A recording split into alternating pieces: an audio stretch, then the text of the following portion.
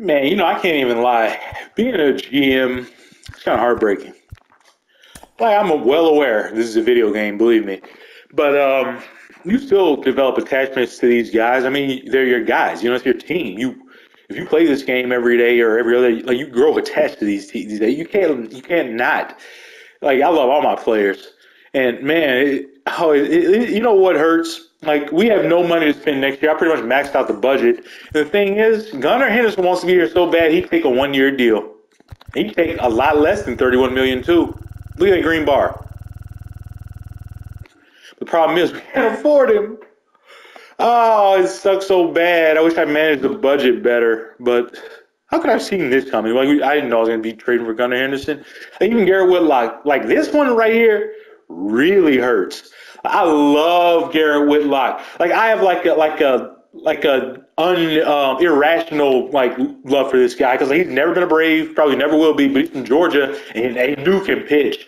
He is a rock. Just iron me up, man. He has so many good. He never has bad years. Like this is his first, like I guess you consider bad year. But Fielding Independent shows he has he's, he's had a, a, little bad luck, but man, he's so good. And the, but the heartbreaking thing about this is he take fourteen million a year. Dude would stay with us for four for like the, he'd probably do another two year deal, man. And I but I just don't have the money.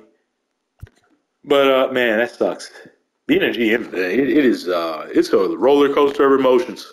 Imagine these guys like they're human beings. Like obviously not in the game, but the money and shit. Like it, it is, man. I wish guys had personalities on this. I wish they were like human beings.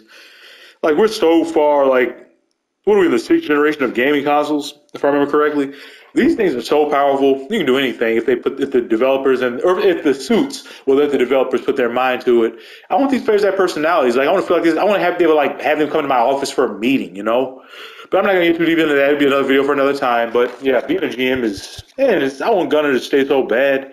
Dude is meant to be a brave, but it's just not. It's not gonna happen.